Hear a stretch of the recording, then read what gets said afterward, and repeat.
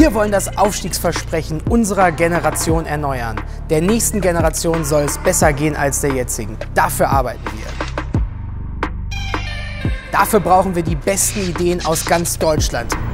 Wir haben beim Debattencamp eure Ideen gesammelt, anschließend in einen Antrag gebracht und heute mit über 500 Änderungsanträgen fleißig diskutiert.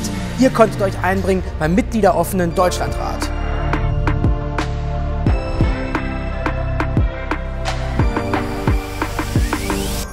In unseren 27 Punkten setzen wir uns beispielsweise für eine bessere Bildung ein, wollen eine nationale Schulcloud schaffen und die Minijobs von 450 auf 600 Euro erhöhen. Wir wollen starke Familien.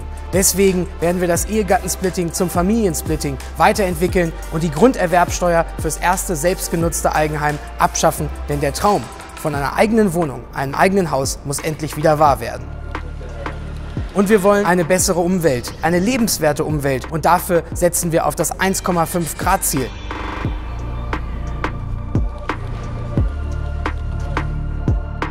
So ein starker Antrag ist nur möglich, wenn alle mitmachen. Ein ganz großes Dankeschön an alle, die sich eingebracht haben in diese starke Debatte. Denn wir wollen eine starke Handschrift der jungen Generation im Regierungsprogramm von CDU und CSU.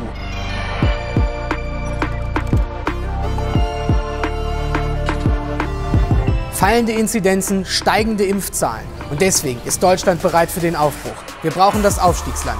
Genau jetzt.